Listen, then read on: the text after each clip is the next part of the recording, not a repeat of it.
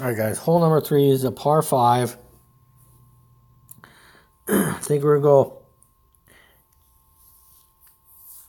APOC 5 and 20% combined with the Kingmaker. And actually, we don't even need that. So we are not going to do that shot. Guys, we are going to make this way easier on ourselves. QB10. Paired with the sniper.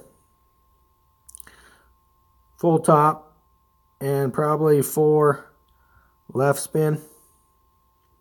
Yeah, that'll work.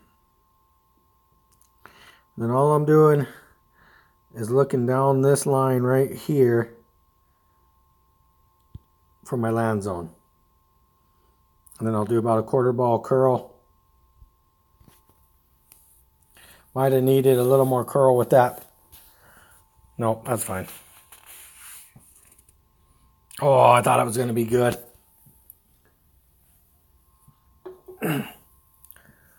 so you can either go a little more curl or um, a little more side spin.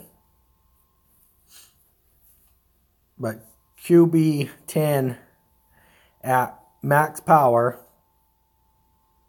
max distance, basically almost up against that rough's edge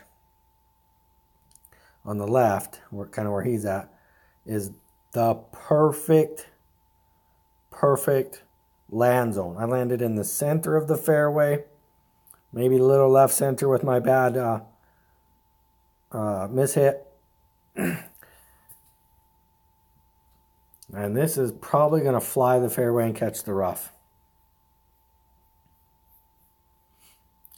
So he he flew too he hit it too far.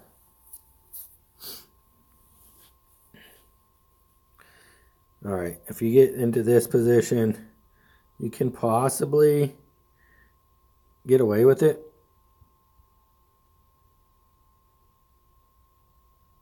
Oh yeah, you can easily get away with this shot. All you gotta do is catch perfect ball. That grate is going to catch that bunker. Nope.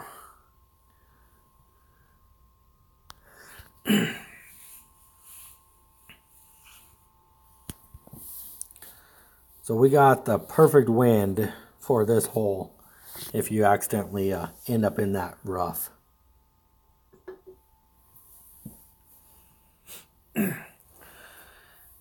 As you can see, we still easily got it there with the uh, full overpower um, rough iron. But like I was saying, guys, QB 10 off the tee box, uh, paired with a uh, a Titan ball or or a uh, Kingmaker. You should be able to go to max distance with the, either either of those, and then uh, I used four right spin. You might want to use five or just a slight bit more curl uh, than what I did. Or don't don't miss hit uh, left.